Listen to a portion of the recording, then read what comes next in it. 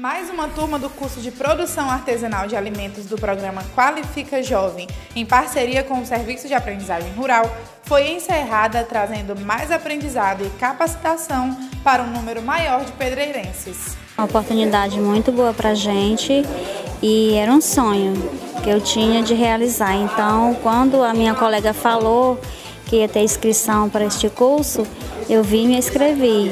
E foi muito bom que a gente aprendeu a fazer vários tipos de salgados e massas e incentivar pessoas que têm vontade para fazer, porque é muito bom para a gente. E agradecer à professora Glória e a todos, e primeiramente a Deus, por essa oportunidade de estar aqui hoje.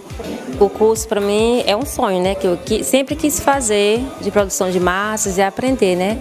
Para progredir. E eu, eu através de uma colega, que eu, eu consegui né, me, me cadastrar né, nesse curso e eu fiquei na lista de espera né, da turma. E aí, quase um mês, aí me ligaram, né, que eu tinha é, surgido a vaga da turma. E eu fiquei muito feliz, porque é um sonho e eu agradeço muito né, nesse curso. Professora maravilhosa, nossa turma maravilhosa. E é empreender, vou botar para frente e eu agradeço muito. Muito importante esse curso mesmo. Para nós é um privilégio poder participar desse processo. Não é algo comum de estar acontecendo regularmente em Pedreiras, mas nos últimos três meses tem se tornado algo corriqueiro.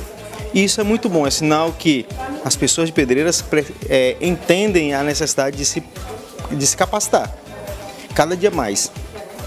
E como eu falei em outros momentos, nós temos mais novidades para trazer para Pedreiras. E para nós é um privilégio poder participar da, é, diretamente e em alguns momentos indiretamente do processo de formação dessas pessoas. Diretamente por quê? Sou responsável pela mobilização para a nossa região. Indiretamente por quê? Porque tem outros agentes que estão mais é, participativos diretamente na turma do que eu, né? como a turma da, da do CREAS, e os, que, e os membros, a turma que compõe a equipe da Secretaria Municipal da Juventude, né, que estão se desdobrando para poder a coisa acontecer. E a gente vai ajudar no que for preciso, no que nós tivermos condições de fazer, nós iremos fazer a coisa acontecer. É muito gratificante, né? Nossa prefeita, Vanessa Maia, tem essa preocupação de estar tá sempre dando qualificação e oportunidade para que, a, que esse jovem, para que essas senhoras, para que essas mulheres tenham a sua própria fonte de renda.